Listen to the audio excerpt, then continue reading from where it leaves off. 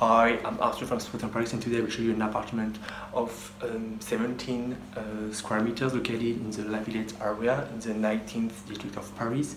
So you're close to the Bassin La Villette. It's a very nice uh, place to spend good time and meet nice people, so you will love it. Well, let me show you this apartment. So that's the main door. And directly after on your right and the bathroom with a shower and a toilet.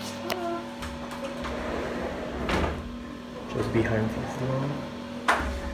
And then you are in the main room, as you can see, with the kitchen part. It's a fully equipped one, with just right here the cooking plates, some storage to store your dishes and your food. Also there is a sink, microwave, other storage, and also you have a dishwasher, so that's very nice.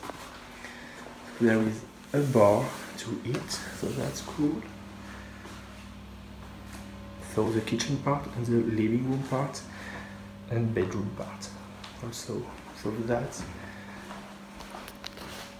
the apartment as you can see with the sofa bed. You can open it and sleep on it to make a double bed. The wardrobe is a standard wardrobe so just of drawer some shelves.